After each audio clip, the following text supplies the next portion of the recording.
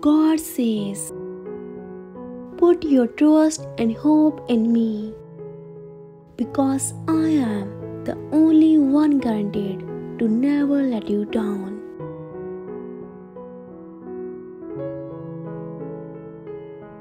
Everyone has setbacks in yesterdays, but your past doesn't define your future.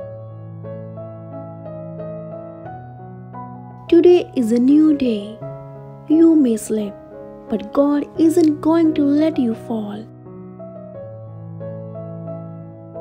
His loving arms will always be there to catch you and put you in the right direction. Keep your faith in God no matter how low you are brought, how bad things may get. God is with you.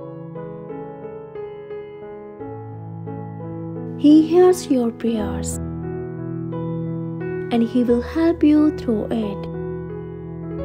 Trust God to make a way. Sometimes we can only see what's in front of us, but God sees the big picture.